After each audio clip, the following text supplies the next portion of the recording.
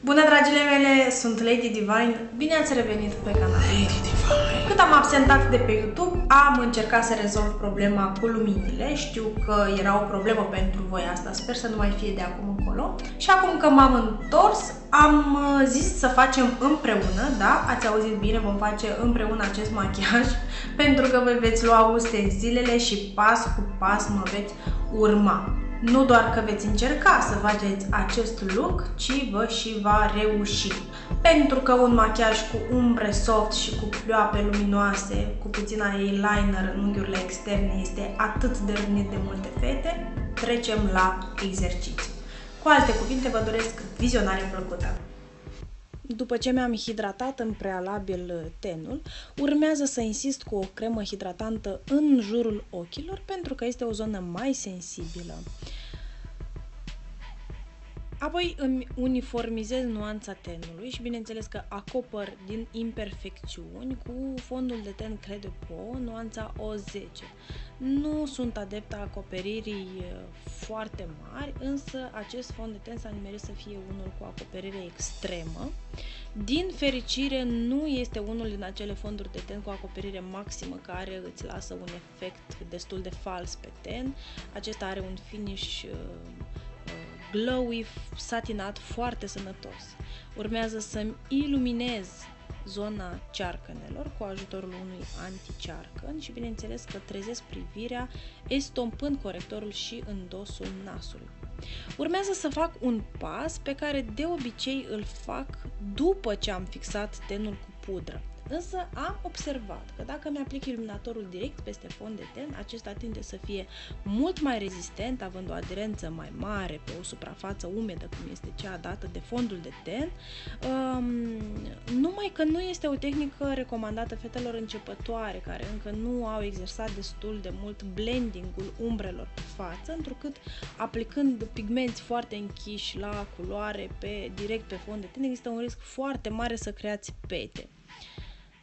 Faceți acești pași după aplicarea pudrei. În schimb, dacă ați lucrat cum am lucrat eu în acest tutorial, urmează restul zonelor să fie uscate, să fie fixate cu ajutorul unei pudre pulbere și, bineînțeles, cu ajutorul pensulei de mari dimensiuni vom blendui, vom estompa și umbrele, umbrele și volumele proaspăt create pe fizionomia noastră. Atunci când folosiți un fond de ten cu acoperire foarte mare, vă recomand să nu exagerați cu pudra. Trecem la sprâncene. Probabil că sunteți obișnuite până acum să vedeți acele sprâncene ultra grafice, foarte compacte, foarte bine desenate, însă în ultima perioadă începem să renunțăm la acele sprâncene super compacte în favoarea sprâncenelor naturale. Și cine nu are o sprânceană naturală într-o formă de foarte armonioasă care să complementeze chipul, este liber să recreeze, să reconstruiască sprânceana fir cu fir, cu ajutorul uh, a mici segmente care să imite firul natural de păr, iar apoi cu puțin corector ștergem practic uh, greșelile și mai uh, eliminăm din firele care au fost prea des desenate în sprânceana noastră. Uh, voilà! Voila, o sprânceană destul de naturală, groasă, dar în același timp curată și organizată, dacă pot să spun așa. Urmează să realizăm machiajul ochilor.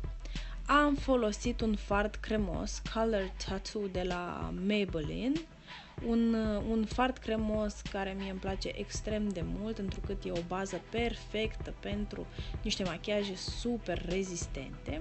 Și apoi ați văzut că folosind fardurile mate de la Morphe, încep să îmi matifiez pliul și după aceea aplic um, culoare peste culoare pentru intensificarea unghiului extern al ochiului și pentru uh, intensificarea pliului.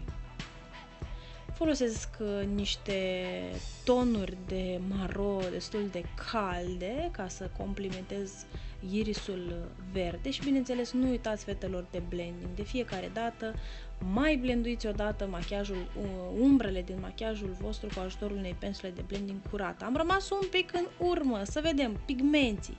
Am aplicat un pigment auriu foarte luminos pe pleoapă, după care cu un pigment uh, pulbere de foarte apropiat de culoarea pielii mele, îmi iluminez și curăț practic arcada. Dacă nu sunteți adeptele unei arcade fate satinate, sunteți libere să o iluminați cu un fard mat. Însă vă recomand curățarea, da, să lăsați o arcadă, întotdeauna o arcadă liberă, curată și luminoasă.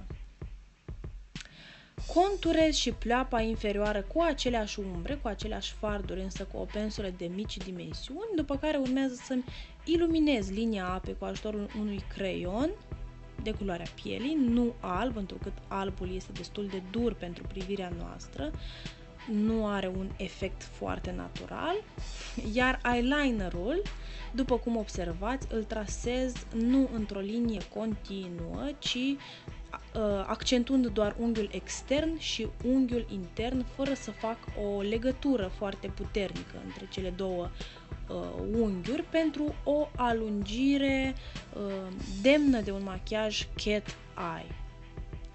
Am uh, rimelat și genele și apoi trec la conturul buzelor. Dacă o să vreți, uh, cred că o să fac un tutorial separat pentru această tehnică de conturare a buzelor cu ajutorul unui fard în aceeași nuanță cu conturul buzelor noastre. O să vă explic în acel tutorial de ce fac acești pași și de ce uh, fixez practic conturul buzelor înainte să aplic uh, rujul. Asta mă ajută, în principiu cred că vă dați seama că ne ajută foarte mult la rezistența rujului pe, pe buze pe parcursul întregii zile. Iar cu ajutorul unui corector corectez bineînțeles, conturul buzelor, redefinind bordura luminoasă a, a, gurii, a gurii noastre. În felul acesta am un contur curat și extrem de sharp, drept. Știu că multe dintre voi ați renunțat la glosuri de când cu rujurile mate, pentru că glosul, bineînțeles, nu este uh, o formulă foarte rezistentă. Eu însă ador finișul unui gloss și ori de câte ori vreau să-mi reziste mai mult, pur și simplu îl aplic deasupra unui ruj mat.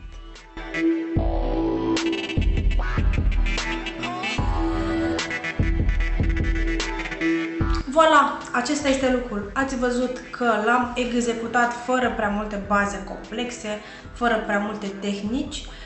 Dacă ați încercat acest machiaj, aștept pozele voastre într-un mesaj privat pe pagina mea Lady Divine de Facebook.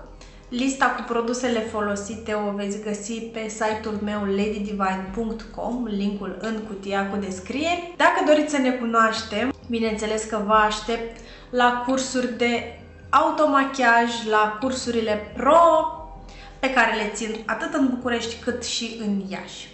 Următorul curs din București începe în data de 3 aprilie, iar cel din Iași pe 17 aprilie.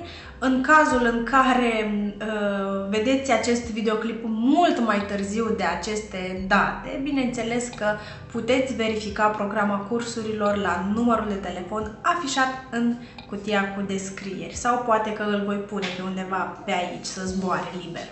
Bineînțeles că dacă ați încercat de mai multe ori acest machiaj și ați eșuat, vă aștept cu o programare la un machiaj pentru evenimentele voastre speciale, atunci când vreți să străluciți ca niște uh, adevărate dive. Căci nu e așa, cine să scoată mai bine diva din tine altcineva decât profesoara de divărai.